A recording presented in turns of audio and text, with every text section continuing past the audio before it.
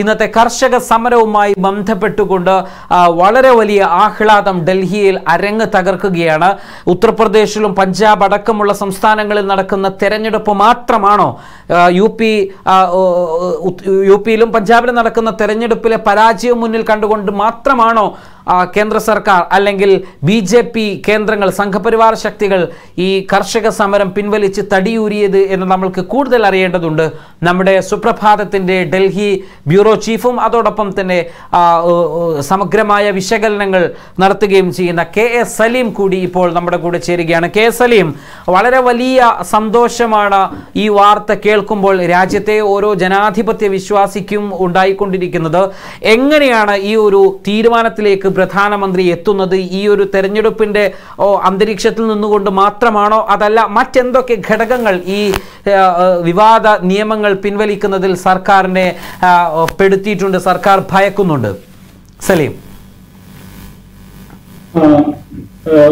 ഒരുപാട് കാർഷിക സമരം കാർഷിക കർഷക നിയമങ്ങൾ പിൻവലിക്കാൻ പ്രധാനമന്ത്രി പ്രഖ്യാപിക്കുന്നത്. ഒരുപാട് ഒരുപാട് ഘടകങ്ങൾ ഒത്തുചേർന്ന് വരുന്ന ഒരു ഒരു വലിയൊരു പ്രതിസന്ധിക്ക് ശേഷമാണ്. പക്ഷെ അതിന്റെ പ്രധാന കാരണം യു പിയിലും പിന്നെ പഞ്ചാബിലും നടത്താൻ പോകുന്ന ഇലക്ഷൻ പ്രത്യേകിച്ച് U P Punjab B J പിക്ക് വലിയ പ്രതീക്ഷയൊന്നുള്ള സ്ഥലമല്ല. പക്ഷെ യു പി യു പിയിലെ യു പിയിലെ കർഷകർ രാകേഷ് ടിക്കാറ്റിന്റെ നേതൃത്വത്തിലുള്ള യു പിയിലെ കർഷകർ ഒരു ബി ജെ പിയെ പിന്തുണച്ചിരുന്ന കർഷകർ. ആ കർഷകരിലെ വലിയൊരു വിഭാഗം ഇപ്പോൾ സമരത്തിന്റെ ഭാഗമായിട്ട് നിൽക്കുന്നുണ്ട്. അവിടെ ഇലക്ഷൻ വരാൻ പോവുകയാണ്. അതുകൊണ്ട് വലിയ തിരിച്ചടി ബി ജെ പിക്ക് യു പിയിൽ മറ്റു കുറെ പ്രശ്നങ്ങളുണ്ട്. അക്കൂട്ടത്തിൽ ഈ ഇതൊരു വലിയ പ്രശ്നമായിട്ട് നിൽക്കുന്നുണ്ട്. അതോടൊപ്പം ഉത്തരാഖണ്ഡിൽ ഇതേ സമയത്ത് തന്നെ ഇലക്ഷൻ വരാൻ പോകുന്നുണ്ട്. ഗോവയിൽ ഈ കൃഷി അത്ര കാർഷിക പിന്നെ കൃഷിയൊന്നും വലിയ രീതിയിൽ നടക്കുന്ന ഒരു സ്റ്റേറ്റിലെങ്കിലും ഗോവയും മണിപ്പൂരിലും ഇലക്ഷൻ വരാൻ പോകുന്നുണ്ട്. അവിടെയും കാർഷിക നിയമമായിട്ട് ബന്ധമായി കാർഷിക സമരം ഒരു വലിയ പ്രശ്നമായിട്ട് മാറാൻ സാധ്യതയുണ്ട്. അപ്പൊ അതൊക്കെ കൂടി എല്ലാ ഒരുപാട് ഘടകങ്ങൾ പരിശോധിച്ചിട്ടാണ് ഇവർ ഇത് പിന്നെ പിൻവലിക്കാൻ തീരുമാനിക്കുന്നത് അതോടൊപ്പം തന്നെ സുപ്രീം കോടതിയിൽ ഈ കേസ് സുപ്രീം കോടതിയിൽ ഈ കേസ് വന്ന സമയത്ത് സുപ്രീം കോടതി പോലും കർഷകർക്ക് ഏകദേശം അനുകൂലമായിട്ടുള്ള കർഷകർക്കെതിരായ ഒരു നിലപാട് എടുക്കാൻ അവർ തയ്യാറായിട്ടില്ല. അപ്പോൾ ആ അർത്ഥത്തിൽ കർഷകരുടെ ഒരു സമരം ഒരു പ്രധാന ഘടകം കർഷകരുടെ നിശ്ചയദാർഢ്യത്തോടുള്ള ഒരു സമരമാണ് ഏറ്റവും വലിയ ഘടകമായിട്ട് നമ്മൾ കാണേണ്ടത്. അതോടൊപ്പം മറ്റു രാഷ്ട്രീയ കാരണങ്ങളും ഉണ്ടാവും ഈ മറ്റ് രാഷ്ട്രീയ കാരണങ്ങൾ എന്ന് പറയുന്നതിന്റെ സൂചനകൾ എന്തൊക്കെയായിരിക്കും? മറ്റു രാഷ്ട്രീയ കാരണങ്ങൾ എന്ന് പറയുന്നത് ഈ ഒന്ന് ഈ ഇലക്ഷൻ വരാൻ പോകുന്നതാണ്. രണ്ടാമത് കർഷകർ നടത്തുന്ന സമരം. ഈ സമരം എന്ന് പറയുന്നത് നമ്മുടെ ഇന്ത്യയിലെ ചരിത്രത്തിൽ കണ്ടിട്ടില്ലാത്ത വിധം അങ്ങേറ്റത്തെ ഓർഗനൈസ്ഡ് ആയിട്ടുള്ള ഒരു സമരമാണ് കർഷകരെ നടത്തിയത്. അതും അങ്ങേറ്റത്തെ നിശ്ചയ നിശ്ചയദാർഢ്യത്തോടു കൂടിയുള്ള സമരമാണ്. എങ്ങനെയാണ് സർക്കാർ അടുത്ത മൂമെന്റ് സർക്കാർ എന്താണോ ചെയ്യാൻ പോകുന്നത് അത് മുൻകൂട്ടി കണ്ട് കാൽക്കുലേറ്റ് കാൽക്കുലേറ്റഡ് ആയിട്ടുള്ള വളരെ ആസൂത്രിതം വളരെ പിന്നെ ആലോചിച്ച് ആലോചിച്ചുറപ്പിച്ച് ആസൂത്രിതമായി നടത്തിയ ഒരു സമരമാണ്. സർക്കാർ അടുത്ത് എന്ത് ചെയ്യാൻ പോകുന്നു എന്ന് മുൻകൂട്ടി കാൽക്കുലേറ്റ് ചെയ്യാനും ഇതൊരു ലോങ് ടേം സമരമായിരിക്കുമെന്ന് നേരത്തെ തന്നെ തീരുമാനിക്കാനും അതിനനുസരിച്ച് പദ്ധതി തയ്യാറാക്കാനും അതിനനുസരിച്ച് ഓർഗനൈസ് ചെയ്യാനും ഒക്കെ അവർ കാണിച്ച ഒരു ഒരു ദീർഘവീക്ഷണമാണ്. നമ്മൾ എനിക്ക് തോന്നുന്നത് പലപ്പോഴും പല സമരങ്ങളും പിന്നെ തോറ്റുപോകാനൊക്കെ ഉണ്ടാവുന്ന ഒരു കാരണം പെട്ടെന്ന് റിസൾട്ട് കിട്ടും എന്ന് ആളുകൾ വിചാരിക്കുന്നതുകൊണ്ടാണ് നമ്മളൊരു സമരം നടത്തുന്നു അതോടുകൂടി സർക്കാർ മാറും എന്ന് വിചാരിക്കുന്നത് കർഷകർ അങ്ങനെ വിചാരിച്ചില്ല എന്നുള്ളതിന്റെ അവരുടെ ആദ്യത്തെ വിജയം. അവർ ആദ്യം തന്നെ പറഞ്ഞത് ഞങ്ങൾ ഇവിടെ വന്നത് അഞ്ചു വർഷത്തേക്ക് സമരം ചെയ്യാനാണ്. അല്ലാതെ ഞങ്ങൾ ഒരു ഒന്നോ രണ്ടോ മാസം സമരം ചെയ്തിട്ട് തിരിച്ചു പോകാനല്ല. അഞ്ചു വർഷത്തേക്ക് സമരം ചെയ്യാനാണ് എന്നാണ് അവർ ആദ്യം തന്നെ പറയുന്നത്. അഞ്ചു വർഷം എന്ന് പറഞ്ഞാൽ മോഡിയുടെ ഒരു ഏകദേശം ഒരു കാലയളവാണ്. അതായത് പിന്നെ മോഡി അധികാരത്തിൽ അടുത്ത തവണ തുടരുന്ന ഒരു ഫുൾ കാലയളവിൽ ഞങ്ങൾ സമരം ചെയ്യും. അത് കഴിഞ്ഞിട്ട് അടുത്ത കാലത്തേക്കുള്ള സമരം ഞങ്ങൾ ആ സമയത്തിനുള്ളിൽ ആസൂത്രണം ചെയ്യും. എന്നത് അവരുടെ ഏറ്റവും വലിയ ട്രാക്ടിക്സ് ആയിരുന്നു. അതായത് പെട്ടെന്ന് സമരങ്ങൾ എങ്ങനെ പൊളിക്കാൻ പറ്റും എങ്ങനെ പിന്നെ അവരെ പൊളിക്കാൻ പറ്റും എന്നതിന് പിന്നെ അത് അത് സാധിക്കില്ല എന്നുള്ള ആദ്യഘട്ടത്തിൽ തന്നെ ഉറപ്പായിരുന്നു. പിന്നീട് സർക്കാർ ചെയ്തത് പല രീതിയിലുള്ള വാഗ്ദാനങ്ങൾ കൊടുക്കുകയാണ്. നിങ്ങൾ പിന്നെ ചർച്ചകൾ നടത്തുന്നു ചർച്ചകൾ നടത്തിയിട്ട് കുറച്ചു കാലത്തേക്ക് മരവിപ്പിക്കാന്ന് പറയുന്നു. പിന്നെ എന്നിട്ട് നമുക്ക് കൂടിയാലോചിക്കാന്ന് പറയുന്നു. അങ്ങനെയുള്ള ചെറിയ ചെറിയ ഓഫർ സാധാരണഗതിയിൽ എല്ലാവരും വിചാരിക്കുക ആ ഓഫർ സ്വീകരിക്കുന്നതോടുകൂടി കൂടി പിന്നെ കർഷകർക്ക് വേണമെങ്കിൽ കർഷകർക്കിടയിൽ രണ്ടഭിപ്രായം ഉണ്ടാവാം എന്ന് ആ ഓഫറിന്റെ കാര്യത്തിൽ രണ്ടഭിപ്രായം ഉണ്ടാവും. നല്ലൊരു ഓഫറായിരുന്നു അവർ മുന്നോട്ട് വെച്ചു. മൂന്ന് വർഷത്തേക്ക് രണ്ട് വർഷത്തേക്ക് കാർഷിക നിയമങ്ങളെ പരേപ്പിച്ച് നിർത്താന്ന് പറഞ്ഞു. പക്ഷെ കർഷകർ ചെയ്തത് അവരുടെ നിലപാട് സർക്കാർ എത്രത്തോളം ഈ വിഷയത്തിൽ അഡമന്റ് ആണ് അതിനേക്കാൾ അഡമന്റ് ആയിട്ടുള്ള നിലപാടിലാണ് കർഷകർ നിന്നത്. ഇതൊന്നും ഞങ്ങൾക്ക് വേണ്ട. ഞങ്ങൾക്ക് ഒരൊറ്റ ആവശ്യമുള്ളൂ. ഒരു സിംഗിൾ അജണ്ട കാർഷിക നിയമങ്ങൾ പിൻവലിക്കാം ബാക്കി കാര്യങ്ങൾ നമുക്ക് അതിന് ശേഷം ചർച്ച ചെയ്യാം എന്നാണ് അവർ പറഞ്ഞത്. എന്നിട്ട് നമുക്ക് പുതിയ നിയമങ്ങൾ കൊണ്ടുവരുന്ന കാര്യം അല്ലെങ്കിൽ കമ്മിറ്റി ഉണ്ടാക്കുന്ന കാര്യം. മോഡി ഇപ്പൊ അതാണ് പറയുന്നത്. ഞങ്ങൾ പുതിയ അടുത്ത നിയമം കൊണ്ടുവരുന്നതിന് ഈ കർഷകരുടെ ഇക്കണമിസ്റ്റുകളെയും അതുപോലെ തന്നെ ശാസ്ത്രജ്ഞരെയും അങ്ങനെ വലിയ ഒരു സ്റ്റേറ്റുകൾ സമിതി ഉണ്ടാക്കി ഞങ്ങൾ കൊണ്ടുവരാം. ഇതാണ് കർഷകർ നേരത്തെ പറഞ്ഞത്. അവർ ആദ്യമേ പറഞ്ഞുകൊണ്ടിരിക്കുന്ന കാര്യം ഞങ്ങളോട് കൂടി ആലോചിച്ചില്ല ബന്ധപ്പെട്ടവരോട് കൂടി ആലോചിച്ചില്ല. സർക്കാർ വളരെ ഏകപക്ഷീയമായിട്ട് അവർക്ക് തോന്നുന്ന നിയമം മൂന്ന് നിയമങ്ങൾ ഉണ്ടാക്കിയിട്ട് ഞങ്ങളെ മേലെ അടിച്ചേൽപ്പിച്ചിട്ട് എന്നിട്ട് പറയാണ് ഇതാണ് ഇനി നിങ്ങളുടെ നിയമം എന്ന് പറയാണ് ചെയ്തത്. ഇത് അംഗീകരിക്കാൻ പറ്റില്ല. നിങ്ങൾ ആദ്യം ഇത് പിൻവലിക്കും. എന്നിട്ട് നമുക്ക് ചർച്ചകളാവും. എന്നിട്ട് നമുക്ക് ബാക്കി കാര്യങ്ങളിൽ ചർച്ചകളാവും. സർക്കാരുമായിട്ട് നടത്തിയ ചർച്ചകൾക്ക് അവർ കൃത്യമായി പോയിട്ടുണ്ട്. പോയപ്പോഴേക്കും അവർ ഇത് മാത്രമാണ് പറഞ്ഞത്. മറ്റൊരു പോയിന്റിലും അവർ ചർച്ചയ്ക്ക് തയ്യാറായിട്ട് പോലുമില്ല. മറ്റ് നമുക്ക് ഓരോ പോയിന്റ് ഓരോ പോയിന്റ് എടുത്ത് ചർച്ച ചെയ്യുമ്പോൾ പോയിന്റുകളല്ല നിയമം മൊത്തമാണ് പ്രശ്നം എന്നൊരു ഒരു ഉറച്ച നിലപാടാണ്. ഈ കാര്യത്തിൽ കർഷക സംഘങ്ങൾക്കിടയിൽ ഒരു അഭിപ്രായ വ്യത്യാസം ഉണ്ടായിരുന്നില്ല. ഒട്ടും ഉണ്ടായിരുന്നില്ല എന്നുള്ളതാണ് ഒരു ഐക്യം. അങ്ങേറ്റത്തെ ഒരു ഐക്യം. അത് പഞ്ചാബിൽ നിന്നുള്ള കർഷകരായാലും ഹരിയാനയിൽ നിന്നുള്ള കർഷകരായാലും ഇവരിൽ നിന്ന് വളരെ വ്യത്യസ്തമായിട്ട് കരിമ്പ് കൃഷി ചെയ്യുന്ന യു പിയിൽ നിന്നുള്ള കർഷകരായാലും എല്ലാവരും ഒരേ നിലപാടുകാരായി എന്നതാണ് ഇതിലെ ഒരു പ്രധാന ഘടകം. ഇതിൽ ഈ സമരത്തിന് സമരത്തിന് ഘടകമായിട്ട് മാറി. ഇപ്പോൾ നേരത്തെ കേന്ദ്ര സർക്കാരിന്റെ ഭാഗത്ത് നിന്ന് എന്തൊക്കെ പ്രതിസന്ധികൾ ഉണ്ടായിരുന്നാലും ഇത് പിൻവലിക്കുന്ന പ്രശ്നമേ ഇല്ല എന്നാണ് നേരത്തെ അവർ പറഞ്ഞിരുന്നത്. പക്ഷേ ഇപ്പോൾ ആ സമരം ഒടുവിൽ രാഷ്ട്രീയപരമായോ മറ്റോ ഒക്കെയുള്ള കാരണങ്ങൾ കൊണ്ട് പിൻവലിക്കേണ്ട സാഹചര്യം അഥവാ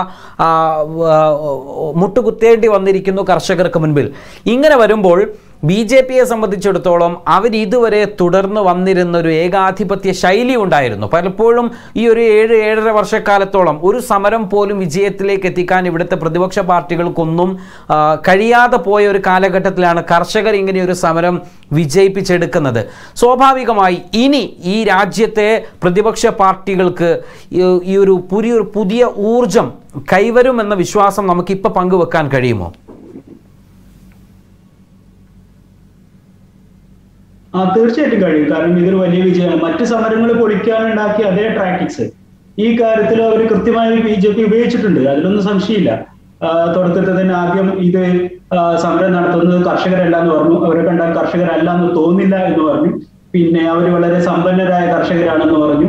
പിന്നീട് പറഞ്ഞു അവർക്ക് ഖലിസ്ഥാനികളുമായിട്ട് ബന്ധമുണ്ട്. അവർ ഇന്ത്യ വിരുദ്ധ മുദ്രാവാക്യങ്ങൾ വിളിക്കുന്നു എന്ന് പറഞ്ഞു. അവർക്കിടയിൽ തീവ്രവാദികൾ നുഴഞ്ഞു കയറ്റിയിട്ടുണ്ടെന്ന് പറഞ്ഞു. അത് കഴിഞ്ഞ് പിന്നീട് പറഞ്ഞത് അവർ അവരുടെ അവരുടെ നേതാക്കന്മാർക്കെതിരെ അവരെ ഇ ഡി അന്വേഷണം തുടങ്ങി ഇ ഡി നോട്ടീസ് കൊടുത്തു. ഈ രീതിയിലാണ് അവർ ഓരോ ഘട്ടത്തിലും പല സമരങ്ങളിൽ പൊളിച്ചിട്ടുള്ളത്. പക്ഷെ ഈ സമരത്തിൽ പിന്നീട് പിന്നെ ഇത് മറ്റേ ട്രാക്ടർ റാലി ഉണ്ടായപ്പോൾ അവിടെ ഉണ്ടായ ട്രാക്ടർ റാലിയായിട്ട് ബന്ധപ്പെട്ടുണ്ടായ ചെറിയ അക്രമ ശ്രമങ്ങളുടെ ഭാഗമായിട്ട് അവർ ഒരുപാട് ആളുകളെ അറസ്റ്റ് ചെയ്തു. അതുകൂടാതെ അങ്ങനെ ഈ നാട്ടുകാർ ഇടപെടിച്ച് ആ പിന്നെ നാട്ടുകാരെ കൊണ്ട് സുപ്രീം കോടതിയിൽ ഹർജി ആ, പിന്നെ റോഡ് ബ്ലോക്ക് ഉണ്ടാക്കുന്നു എന്ന് പറഞ്ഞിട്ട്. അങ്ങനെ ഒരു സമരം പൊളിക്കാൻ അവർ എന്തൊക്കെ ചെയ്യാൻ പറ്റൂ അതൊക്കെ അവർ ചെയ്തു കഴിഞ്ഞിട്ടുണ്ട്. എന്നിട്ടും പരാജയപ്പെട്ടത് കർഷകരുടെ ഒരു കെട്ടുറപ്പ് അവരുടെ ഒരു ഗാന്ധിയൻ സമര രീതി അങ്ങനെയുള്ള കർഷക സംഘടനകളുടെ കൃത്യമായിട്ടുള്ള ആസൂത്രണം അവരുടെ പിന്നെ നിലപാടുകളിലുള്ള ക്ലാരിറ്റി ഇതൊക്കെ കൊണ്ടാണ്. ഇതിന് അവർക്ക് പിന്നെ സർക്കാർ മാത്രമല്ല സർക്കാർ ഇവിടുത്തെ സർക്കാർ രീതികളും എല്ലാം സർക്കാരിന് അനുകൂലമായിരുന്നു. എന്നിട്ട് പോലും അവർക്ക് കർഷകരുടെ ഈ നിശ്ചയദാർഢ്യത്തെ തകർക്കാൻ കഴിയില്ല ഇതൊരു ഒരു ഒരു മാതൃകയാണ്. രാജ്യത്തിന് മുന്നിൽ തന്നെ വലിയൊരു മാതൃകയാണ്. നമ്മൾ സമരം ഒരു മോഡി സർക്കാർ പോലുള്ള വളരെ അഡമന്റ് ആയിട്ടുള്ള വളരെ മൃഗീയ ഭൂരിപക്ഷത്തിൽ നിൽക്കുന്ന ഒരു സർക്കാരിനെതിരെ സമരം ചെയ്യുമ്പോൾ ഒരു ജനീയ സമരം നമ്മൾ രൂപീകരിക്കുമ്പോൾ അത് എത്ര കാലത്തേക്ക് എന്ന് ആദ്യമേ നിശ്ചയിച്ചിട്ട് ഒരു ചെറിയ ചെറിയ ചെറിയ സമരങ്ങൾ ഇത്തരം ഘട്ടത്തിൽ വിജയിക്കില്ല എന്നുള്ളത് കൃത്യമായിട്ടുള്ള ധാരണ. എങ്ങനെയാണ് ഒരു സമരം വിജയിപ്പിച്ചെടുക്കാൻ പറ്റുന്നത്? എത്രത്തോളം അത് ഓർഗനൈസ് ആയിരിക്കണം അത് എത്രത്തോളം പിന്നെ നമ്മൾ വളരെ കുറഞ്ഞ സമയം കൊണ്ട് തന്നെ വിജയം കിട്ടുമെന്ന് പ്രതീക്ഷിക്കാതിരിക്കുക. രണ്ടാമത് അതിനിടയിൽ കിട്ടുന്ന ചെറിയ ചെറിയ വാഗ്ദാനങ്ങളിൽ വീണ് പോകാതിരിക്കുക. ഇങ്ങനെയുള്ള നമ്മുടെ നമ്മുടെ ലക്ഷ്യം എന്താണോ എന്ന കാര്യത്തിൽ കൃത്യമായ ഒരു ബോധ്യം ഉണ്ടായിരിക്കുക. അങ്ങനെയുള്ള കുറെ കാര്യങ്ങളുടെ ഒരു മാതൃകയായിട്ട് ഈ കർഷക സമരത്തെ ഇനിയുള്ള കാര്യങ്ങളിൽ പ്രതിപക്ഷം എടുക്കും എന്നാണ് ഞാൻ കരുതുന്നത്. അതോടൊപ്പം ബി ജെ പിയെ സംബന്ധിച്ചിടത്തോളം അവരുടെ അവർ ഇതുവരെ ഒരു ഏകാധിപത്യ ശൈലിയായിരുന്നു. തങ്ങൾ മാത്രം പറയുന്നതാണ്. പ്രധാനമന്ത്രിയെ കുറ്റം പറയുന്നത് പോലും ദേശവിരുദ്ധ പ്രവർത്തനമാണ് എന്നൊക്കെ ചിത്രീകരിക്കാൻ ശ്രമിച്ചുകൊണ്ടിരിക്കുന്നതിനെയാണ് എല്ലാം പെട്ടെന്ന് തവിട് പൊടിയായി പൊട്ടിച്ചിതറിപ്പോകുന്നത്. സ്വാഭാവികമായിട്ടും ബി ജെ പിക്ക് ഇത് ഒരു കനത്ത തിരിച്ചടി തന്നെയാകും. സ്വാഭാവികമായും ആ തിരിച്ചടി ബി ജെ പിയുടെ നാളുകളിലേക്ക് എങ്ങനെ ബാധിക്കും?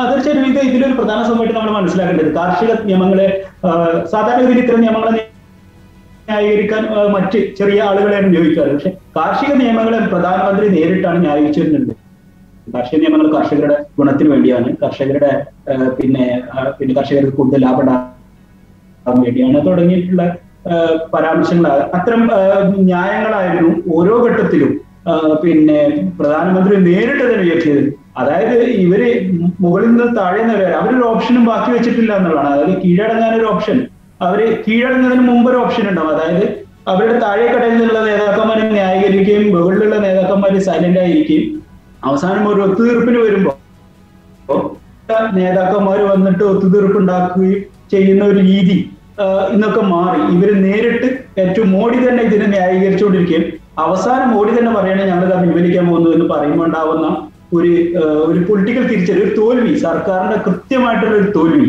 അത് ബി ജെ പിന്നെ എന്തായാലും കൂടി എന്നുള്ള കാര്യത്തിൽ സംശയമില്ല അതോടൊപ്പം ഈ കോൺഗ്രസ് അടക്കമുള്ള രാഷ്ട്രീയ പാർട്ടികൾ ഇപ്പോൾ ഈ കർഷക സമരത്തോട് ഏതെങ്കിലും തരത്തിലുള്ള പ്രതികരണം ഇപ്പോൾ നടത്തിയതായിട്ട് ശ്രദ്ധയിൽപ്പെട്ടിട്ടുണ്ടോ?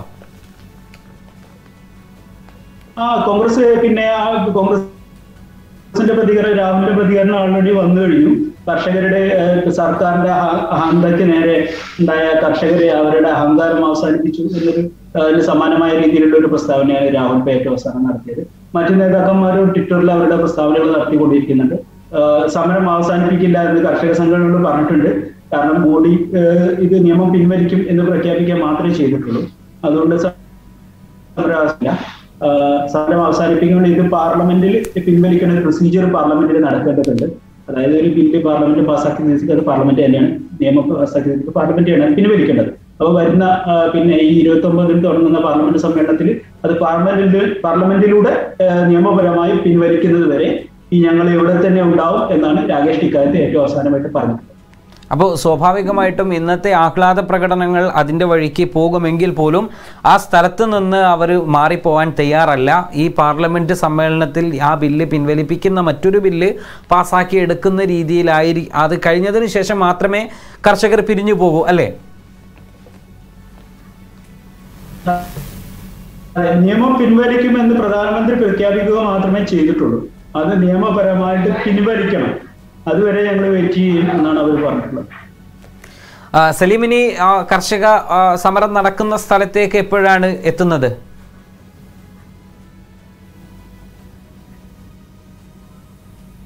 ഞാൻ നേരത്തെ പ്ലാൻ ചെയ്തിരുന്നത് നാളെ പോകാനായിരുന്നു ഇന്ന് നിയമം പിൻവലിക്കുന്ന അറിയില്ലായിരുന്നു. നാളെ നാളെയും മറ്റന്നാളും ഈ രണ്ട് സ്ഥലങ്ങളിൽ സന്ദർശിക്കാൻ വേണ്ടി ഇരിക്കുകയായിരുന്നു. കാരണം കർഷക സമരം അല്ല, ഇത് സംബന്ധിച്ച് എന്തെങ്കിലും സൂചനകൾ, ആറിലേക്ക് ഒരു വർഷം പൂർത്തിയാവാൻ പോവുകയാണ് ഈ മാസം ഇരുപത്തി ആറിൽ ഇത് സംബന്ധിച്ച് ഇത്തരം ഒരു നിയമം പിൻവലിക്കുന്നത് സംബന്ധിച്ച് എന്തെങ്കിലും ഒരു സൂചനകൾ കേന്ദ്ര സർക്കാരിന്റെയോ സർക്കാരിന്റെ ഏതെങ്കിലും വൃത്തങ്ങളുടെ ഭാഗത്തു നിന്നൊക്കെ നമുക്ക് ലഭിച്ചിരുന്നോ? ഇല്ല തീർച്ചയായിട്ടും ഇല്ല. മോഡി ഇന്നലെ രാജ്യത്തെ അഭിസംബോധന ചെയ്ത് സംസാരിച്ചിട്ടുണ്ടായിരുന്നു. ഇന്ന് മോഡി വീണ്ടും അഭിസംബോധന ചെയ്ത് സംസാരിക്കുന്നു എന്നുള്ള അറിയിപ്പ് വന്നപ്പോഴും നമ്മൾ ഇന്ന് ഗുരുനാനക് ജയന്തിയാണ്.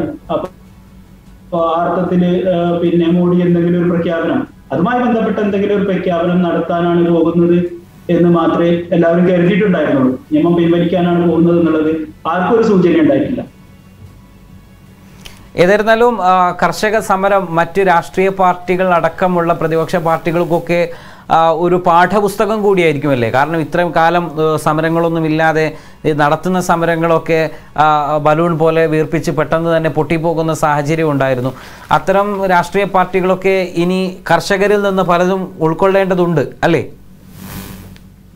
തീർച്ചയായിട്ടും. എങ്ങനെയാണ് മോഡി സർക്കാരിനെതിരെ മോഡിയെ പോലുള്ള ഏകാധിപത്യ നാച്ചുറൽ ഒരു ഡെമോക്രസിക്കുള്ളിൽ ഒരു ഏകാധിപത്യ നാച്ചുറൽ ഒരു സർക്കാരിനെതിരെ എങ്ങനെയാണ് സമരം നടത്തുന്നത് എന്നതിന്റെ ഒരു ടെക്സ്റ്റ് ബുക്കാണ് കർഷക സമരം. അത് പ്രതിപക്ഷത്തിനും മറ്റു വിഭാഗങ്ങൾക്കും എല്ലാവർക്കും ഒരു പാടാക്കാവുന്നു തീർച്ചയായിട്ടും താങ്കൾ ഇനി സമരഭൂമിയിൽ എത്തിയതിനു ശേഷം നമുക്ക് വീണ്ടും സംബന്ധിക്കാം എന്ന ഒരു പ്രത്യാശയോടുകൂടി വളരെ നന്ദി കെ എസ് സലീം തീർച്ചയായിട്ടും സലീം പറഞ്ഞു വെച്ച അവസാനത്തെ വാക്കുകൾ ഇത്രമാത്രമാണ്. ഈ കർഷക സമരത്തിൽ പോരാളികളിൽ നിന്ന് കർഷക സമരത്തിൽ നിന്ന് അവർ നയിച്ച സഹന സമരത്തിൽ നിന്ന് അവർ അവരുടെ നിശ്ചയദാർഢ്യത്തിൽ നിന്ന് സത്യസന്ധതയിൽ നിന്ന് ഐക്യത്തിൽ നിന്ന് ഒരുപാട് പാഠങ്ങൾ ഉൾക്കൊള്ളുവാനുണ്ട്. മാത്രമല്ല ഒരു സമരത്തിലേക്ക് ഇറങ്ങുമ്പോൾ അതൊരു താൽക്കാലിക സമരം മാത്രമായി ഇന്ന ദിവസം തുടങ്ങി ഇന്ന ദിവസം സമാപിക്കും അല്ലെങ്കിൽ ഇന്ന ദിവസത്തിന് ഉള്ളിൽ തന്നെ നമ്മൾക്കതിന്റെ ഫലമുണ്ടാകും എന്ന തരത്തിലുള്ളൊരു ചിന്തയൊന്നും പുതിയ കാലത്തെ സമര രീതികൾക്കുണ്ടാവാൻ പാടില്ല. അത് വളരെ ശക്തവും വ്യക്തവുമായി കൊണ്ട് തന്നെ ആയിരിക്കണം നിലപാടുള്ളതായിരിക്കണം എന്നൊക്കെയാണ് സലീം ഇപ്പോൾ പറഞ്ഞു വെച്ചിരിക്കുന്നത്. ഏതായിരുന്നാലും കർഷകരെ സംബന്ധിച്ചിടത്തോളം അവരുടെ കർഷക സമരം പ്രഖ്യാപനം പ്രധാനമന്ത്രി നടത്തിയെങ്കിൽ പോലും ആ, നിയമങ്ങൾ പിൻവലിക്കുന്ന പ്രഖ്യാപനങ്ങൾ നടത്തിയെങ്കിൽ പോലും കർഷകർ അവിടം വിട്ടുപോകാൻ തയ്യാറല്ല.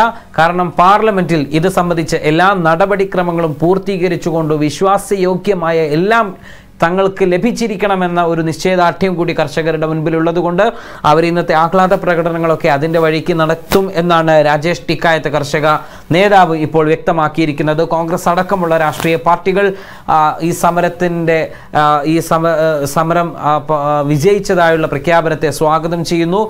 വരും ദിവസങ്ങളിൽ രാജ്യത്തെ പ്രതിപക്ഷ പാർട്ടികൾക്ക് ഒരു പുതിയ ഊർജവും ബി ജെ പിയെ സംബന്ധിച്ചിടത്തോളം അവരുടെ ചങ്കിടിപ്പിന് ആക്കം കൂട്ടുന്നതുമായിട്ടുള്ള ഒരു വാർത്ത തന്നെയാണ് ഇന്നത്തെ പ്രഭാതം നമ്മൾക്ക് സമ്മാനിച്ചിരിക്കുന്നത് വളരെ നന്ദി K S Aleem waytonikah.com, the exclusive Muslim matrimonial site.